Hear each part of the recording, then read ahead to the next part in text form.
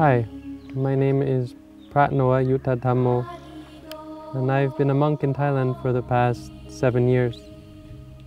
I was ordained in Jom Tong by my preceptor Ajahn Tong Sirimangalo, and I have since moved around to try to find a suitable place to start an international meditation center.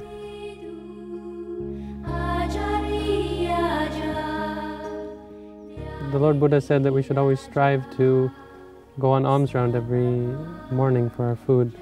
So it's something that I've taken to heart, and I always try my best to make it a part of my daily routine.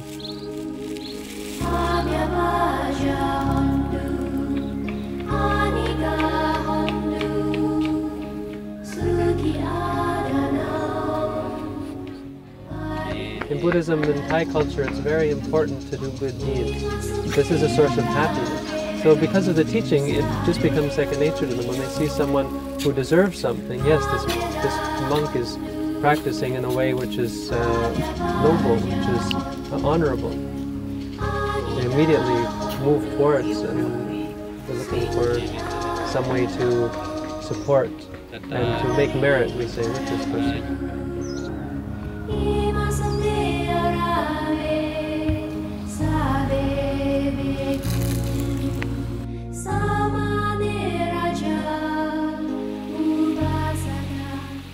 Being a, being a monk is a lot more about what you aren't than anything else. I mean, the the Pali word for for ordaining means going forth, leaving behind, and we leave behind the ordinary everyday life. We leave behind pretty much everything that makes us the average ordinary person who we are, and all that's left is something like a nobody, uh, a bum, if you want to say, someone who who doesn't, uh, doesn't vote, who doesn't speak up on current events, well, sometimes, but doesn't get involved with the world. Is someone who has left the world behind, and all that's left is someone who walks, who sits, who eats, who does things which everyone else does in a very ordinary way. You become very ordinary as a monk, I think. Uh, and maybe that's what's so fascinating about it, is that you know, you're just, you're just being. I mean, how can you do that? Uh, and of course, often it involves living in the forest and so on, which is always somewhat romantic. But uh, in the end, I think that's a lot to do with what the meditation is as well. It's coming back to the ordinary.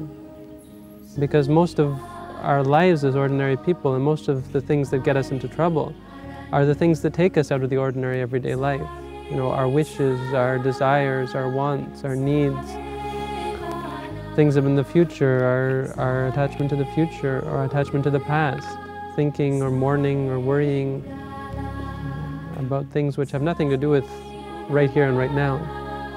So what you get when you leave all this behind is simply an ordinary state of being, which is in the end really, um, really just about nothing. It's just being. That's, to me, that's what it means to be a monk.